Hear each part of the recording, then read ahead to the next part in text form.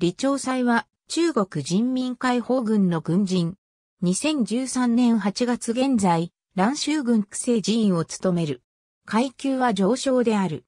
中国共産党の党員であり、党全国大会第17期中央委員には選出されたが、現任の全国大会第18期中央委員には選出されなかった。1949年1月生まれ。赤岩は安徽省合肥県である。1969年12月人民解放軍に入隊。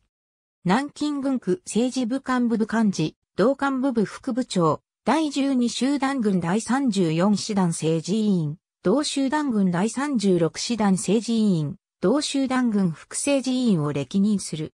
2000年9月、第31集団軍政治委員となる。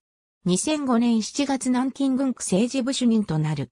2006年12月南京軍区副政治委員、2007年9月、蘭州軍区政治委員となる。2006年7月に中将に、2011年7月23日上昇に昇格する。2007年11月、東大17期全国代表大会中央委員会、中央委員に選出されたが、次の第18期中央委員には選出されなかった。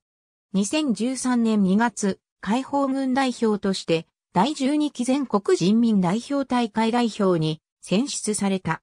中国とも党、第17届中央委、会議、な第12届全国人大代表。ありがとうございます。